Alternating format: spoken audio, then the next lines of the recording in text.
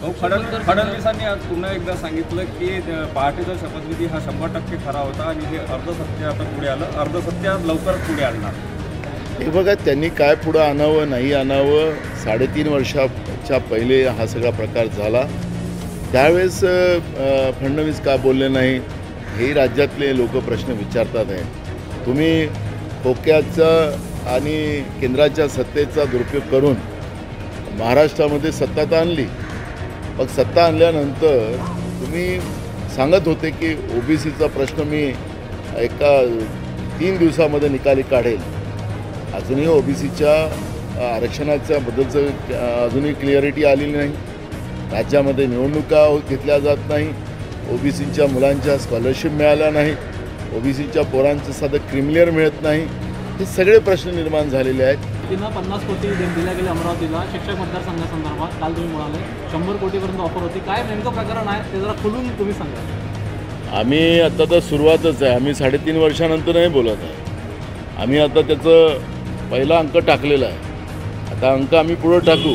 याच्यामध्ये काय काय झालेलं होतं काय काय कोण कोण कोणाचे फोन कुठं गेले होते हे सगळ्या गोष्टीच्या आमच्याजवळ आहे आता जसं फडणवीस सांगतात की आम्ही अंक दुसरे मांडू तसे आमच्याजवळ खूप अंक आहेत. त्यामुळे हे वेळेप्रमाणे मांडू कारण की सत्ता हेनकेन कसं घेता येईल जनतेने दिलेला कौल कसा बदलवता येईल हा प्रयत्न कसा केला जातो याचे सगळे आमच्याजवळ आता रेकॉर्ड आहे आणि त्याच्यावर आम्ही पुढच्या काळात ही सगळी भूमिका मांडू. अहो, आमचं घर बरोबर आहे. एक दोन माणसं घेऊन गेलेत म्हणजे ते मजबूत झाले.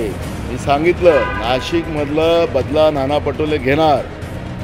नाशिकमध्ये आमचा एक नेला सत्तेचाळीस त्या भागामध्ये आमदार आहेत. त्याच्यातले अर्ध्याधिक आमदार आणि खासदार काँग्रेस पक्षाच्या चिन्हावर निवडून आणण्याची व्यवस्था लोकशाही पद्धतीनं आम्ही करू.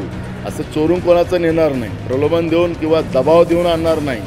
पण जनतेच्या मधात जाऊन आम्ही त्या भागातही सुद्धा आता पुढच्या काळात ती रणनीती काँग्रेस पक्षाने केलेली आहे आणि आम्ही त्या पद्धतीनं आम्ही लोकशाहीला मानणारे लोक आहोत.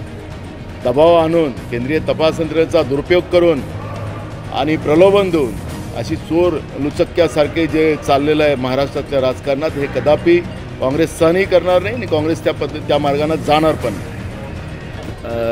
न्यायव्यवस्थेवर आमचा विश्वास आहे.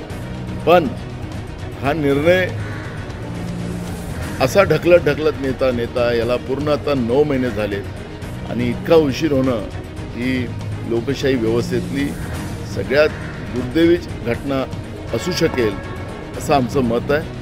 आणि म्हणून शेड्यूल टेनप्रमाणे ही तातडीनं कारवाई व्हावी ही भूमिका आमची आहे.